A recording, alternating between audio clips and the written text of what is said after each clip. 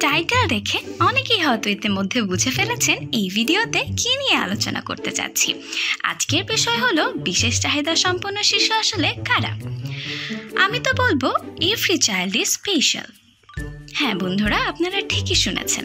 আমি আবারও বলছি এভরি চাইল্ড ইজ স্পেশাল প্রতিটা শিশুই তার নিজ নিজ জায়গা থেকে আলাদা এবং তাদের বিকাশের ধরনও আলাদা। কারও কারও ক্ষেত্রে এই ভিন্নতার মাত্রা যখন একটু বেশি হয়ে যায়, তখন সৃষ্টি হয় কিছু বিশেষ অবস্থা, যার ভিত্তিতে তাদের বিশেষ চাহিদা আছে বলে ধরে নেওয়া হয়। এই অবস্থাগুলোর বৈশিষ্ট্যের উপর ভিত্তি করে অনেক নামও আছে, যেমন autism, cerebral palsy, down syndrome, learning disability ইত্যাদি। পৃথিবীর অন্যান্য দেশের মতো আমাদের দেশেও কিন্তু দিন দিন বাড়ছে এই সকল বিশেষ চাহিদা সম্পন্ন শিশুর সংখ্যা। তবে প্রশ্ন হলো আমরা ঠিক কতটা সচেতন হতে পেরেছি বা এই বিষয়ে সঠিক ধারণাই বা কতজনের আছে?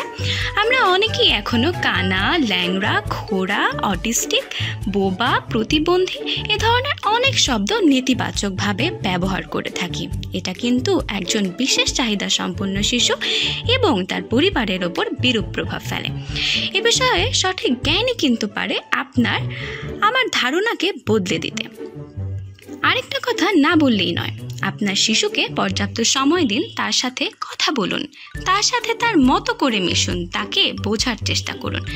তার শারীরিক বা মানসিক বিকাশজনিত যে কোনো ধরনের বিলম্বে ভয় না পেয়ে বা হুটহাট কোনো সিদ্ধান্তে না গিয়ে বিশেষজ্ঞদের পরামর্শ নিন। সর্বোপরি আপনি নিজে জানুন, অন্যকে জানান, গড়ে তুলুন এ সকল শিশুদের জন্য এক নিরাপদ পৃথিবী।